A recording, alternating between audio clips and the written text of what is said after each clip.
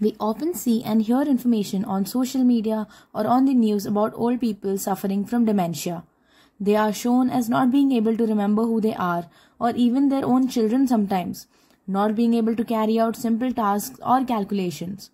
Some make memes and humor about these diseases by implying that popular people suffer from them when they make minor or petty mistakes on the news.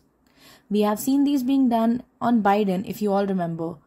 In addition, people have also been insisting that he get a cognitive assessment to continue as an effective president of the US. So, what are these neurodegenerative diseases? Situations that involve the brain cells to not work at their optimal level of functioning or that cause decay or damage to these cells might cause these NDG diseases. As is the case with psychological issues, NDGs are more or less the same. They are influenced by genetic as well as environmental factors. Environmental factors include sleep, lifestyle, and various accidents, etc. And also the main thing is age is the risk factor for the increase of NDG diseases. That we learned all about these NDGs, let's look on to some of the types of NDGs that, that, that are there. So the first one is Alzheimer's disease. Alzheimer's disease, uh, if you watch Grey's Anatomy, you've definitely heard of this term. In a de more definition term, it is defined as the deteriorating cognitive abilities of an individual, such as recognition, reasoning, logic, and eventually physical abilities as well. So this actually uh, is caused by the reduction in the production of acetylcholine. Acetylcholine is a neurotransmitter. Now let's have a quick note on what neurotransmitters are. Neurotransmitters are defined as um, chemicals in our nervous system that help in transmitting electrical impulses from one neuron to another. So now the second cause of Alzheimer's disease is uh, the uh, because of a protein that is called amyloid beta protein. These proteins get uh, plagued up into the blood vessels that prevent uh, the oxygen from reaching the brain. So as we know because of the blockage of oxygen the uh, brain starts deteriorating because it does not have enough oxygen supply.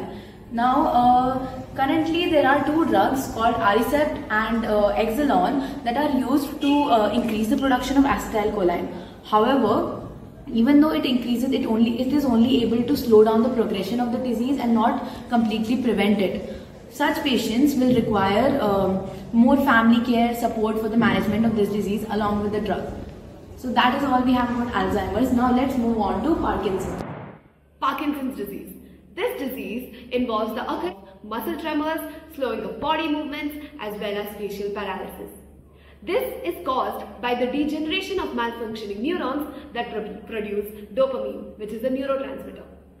Usually, a common treatment for this disease is L-Dopa, which is a drug. However, as time passes by due to studies, we have uh, come to conclusion that the efficacy of L-Dopa uh, is decreasing. Now on to Huntington's disease. Huntington's disease is an NDG that is characterized by three changes. One in personality, two in cognition such as speech deficits and three in movement such as impaired body movement and um, muscle rigidity. So talking about this disease, it is a very fatal one. Why? Because the hereditary rate of this disease is really high. If a parent is um, said to have Huntington's disease, their, uh, their child is 50% more likely to possess the disease. What happens exactly here is that there is a Huntington gene that is responsible for uh, the, the, development of the nervous system. So when this is affected, the uh, nervous system or the body makes more copies of DNA than regularly required.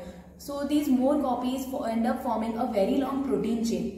So during the breakdown of this protein chain, we end up forming amyloid tangles as we had seen similarly in Alzheimer's disease which affects the normal neuronal functioning.